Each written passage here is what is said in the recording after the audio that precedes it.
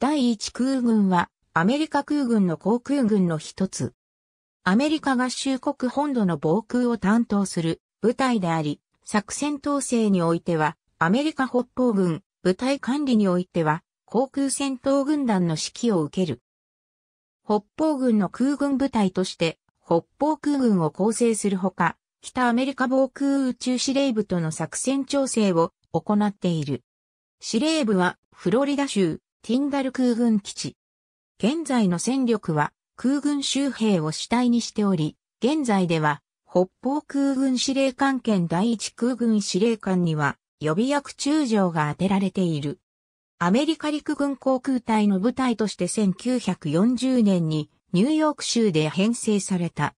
第二次世界大戦中はアメリカ本土にあり、本土北東部における防空及び対戦哨戒、訓練を任務としていた。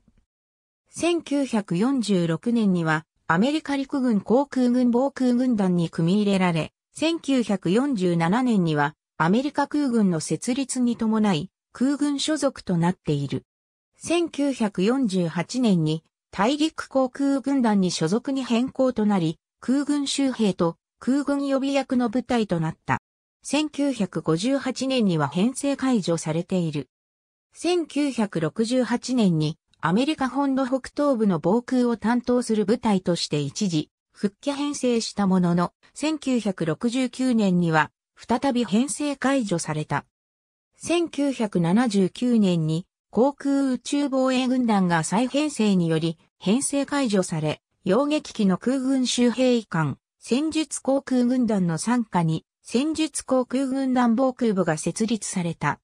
1985年に第一空軍は復帰編成し、アドタク参加で戦力提供及び訓練を担当する部隊となった。